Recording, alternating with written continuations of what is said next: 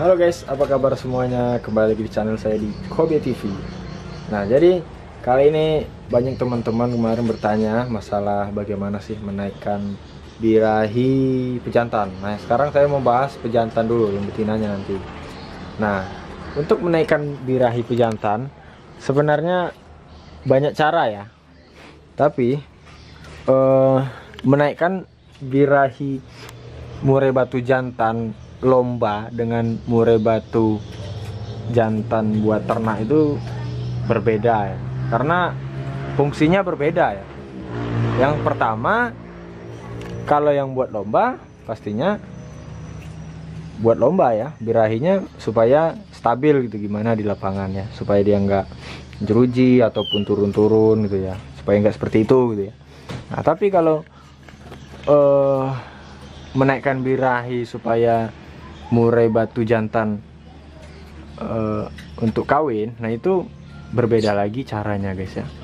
Nah jadi uh, yang pertama kita lihat dari segi makanan. Kalau dari segi makanan sebenarnya banyak makanan yang uh, membuat murai batu itu birahi. Tapi jangan salah di sini karena kesalahan dalam memberi pakan uh, untuk murai batu itu sangat fatal sehingga bisa saja nanti murai batu Anda malah kegemukan, malah makin malas. Yang tadinya malas bunyi, malah makin malas karena saking banyaknya uh, pakannya. Jadi kita kita pelajari dulu bagaimana karakter murai batu kita. Misalkan kalau dia banyak diam atau malas gerak, nah bisa jadi kegemukan. Kita cek dulu badannya ya. Nah, kalau kegemukan dia juga susah birahi ya. Makanya eh, banyak orang yang salah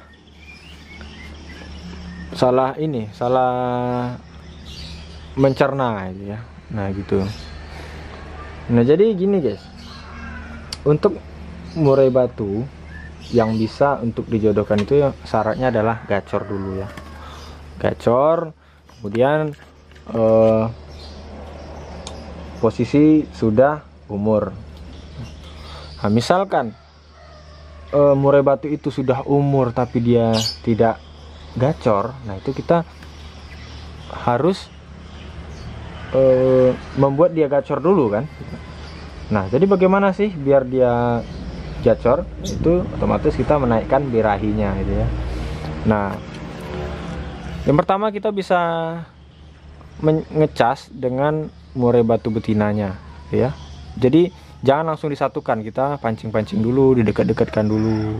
Yang kedua jangan didekatkan dengan murai batu yang sudah gacor ya. Itu bak bakal membuat mentalnya makin jatuh ya.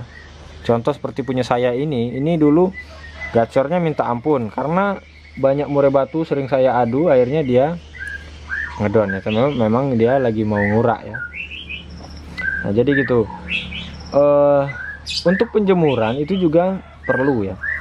Perlu uh, lama atau tidaknya itu kita melihat dari porsi masing-masing murai batu kita. Kalau murai batu kita sanggup lama ya nggak apa-apa gitu ada yang bilang katanya kalau jemur lama itu nggak bagus karena di alam kan murai batu uh, paling uh, jemurnya cuma 5 menit 10 menit gitu ya jemur berjemur gitu ya.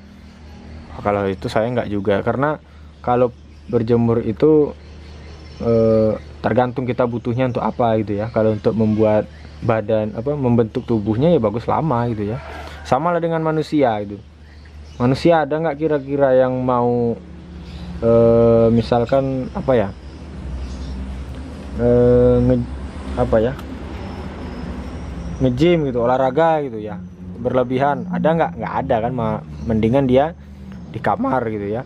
Nah tapi ada yang kalau mau dia kalau dia mau membentuk tubuhnya pasti dia main keluar kan ngejim ataupun olahraga gitu ya. Nah jadi gitu guys ya. Jadi untuk menaikkan birahi pejantan itu uh, syarat pertama adalah tua dulu uh, udah matang dulu. Kalau masih muda itu bukan tidak bisa cuman uh, jarang sekali yang bisa gitu ya.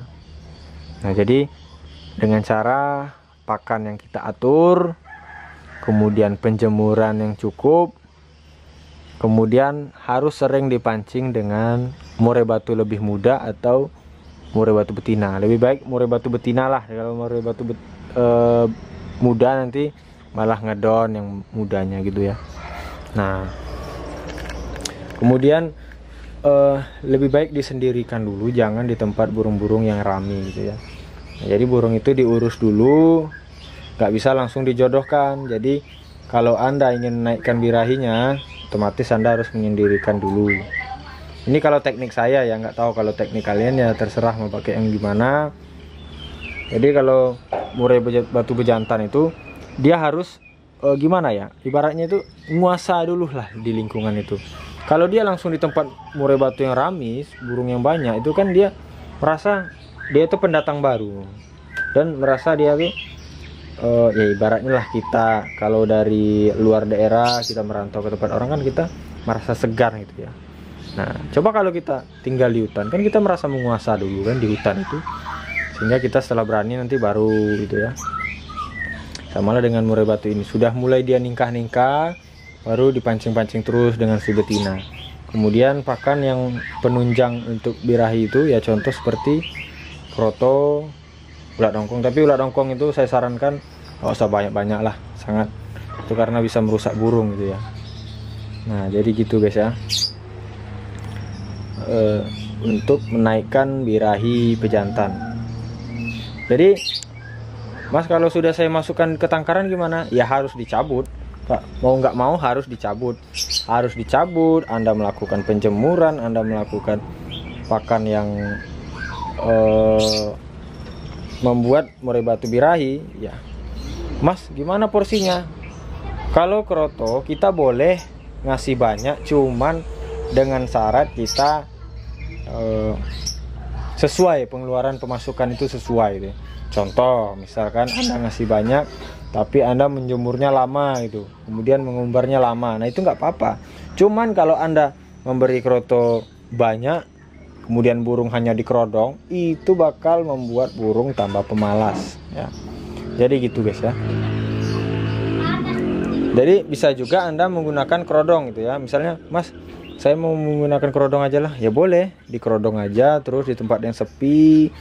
Kemudian eh, apa namanya disendirikan. Jangan di di tempat yang rami gitu ya. Karena biar burung itu menguasa dulu dalam kandangnya gitu ya. Setelah dia bunyi-bunyi bunyi-bunyi terus baru kita nanti pancing dengan betina. Ya jadi kalau memancing itu ya perlu betina juga ya. Karena betina itulah yang membuat murai batu itu naik birahi gitu ya. Sering dipancing-pancing juga nggak apa-apa. Tapi jangan langsung dipancing uh, ya bertahap lah ya. Jangan langsung dipancing kita bertahap. Pertama mungkin udah mulai gacor ya baru mulai dicoba-coba dipancing-pancing. Ya. itu. Ya mungkin itu aja guys ya. Masih banyak sebenarnya. Nanti ditanyakan aja di bawah kolom komentar. Insya Allah akan saya jawab. Uh, mudah-mudahan bermanfaat oke saya akhiri. Assalamualaikum warahmatullahi wabarakatuh